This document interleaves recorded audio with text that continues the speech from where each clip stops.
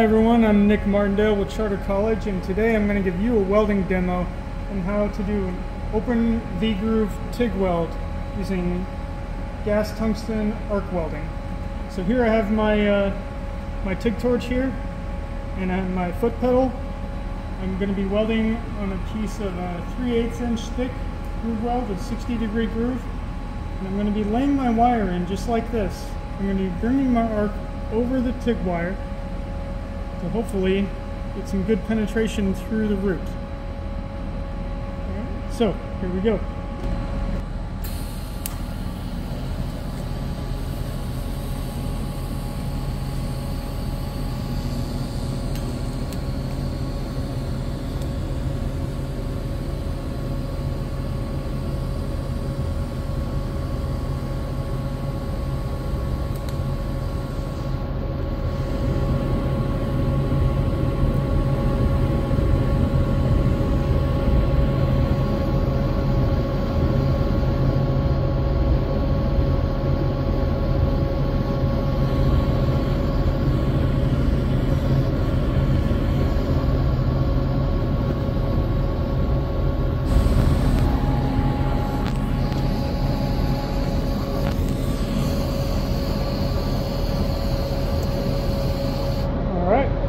How it turned out.